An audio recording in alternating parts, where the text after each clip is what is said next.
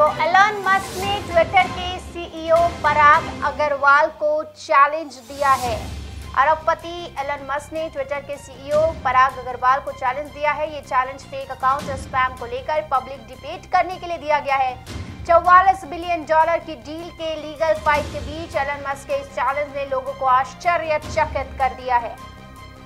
उन्होंने कहा कि अगर ट्विटर उन्हें 100 अकाउंट्स के सैम्पलिंग मेथड की जानकारी देकर बता सकता है कि कैसे वो अकाउंट्स रियल है तो डील ओरिजिनल टर्म्स पर ही पूरी की जाएगी। लेकिन एसईसी फाइलिंग गलत लग रही है, जो कि होनी नहीं चाहिए। एलन मस्क ने यह भी लिखा कि वो पराग अग्रवाल को पब्लिक डिबेट के लिए चैलेंज करते हैं।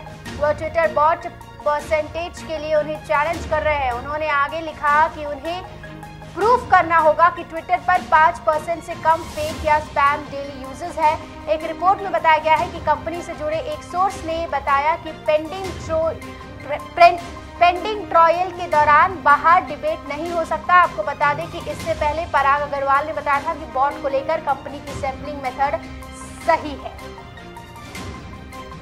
चलती लोकल से युवती को फेंकने की कोशिश। मुंबई में बारिश का रेड अलर्ट मुख्यमंत्री ने जारी किए नए दिशा निर्देश। शाहरुख खान की बेटी आरिन खान गिरफ़्तार।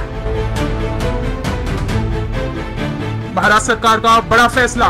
15 अगस्त से मुंबई करो को लोकल में एंट्री खबरों का शहंशाह मुंबई बोले तो मेट्रो मुंबई।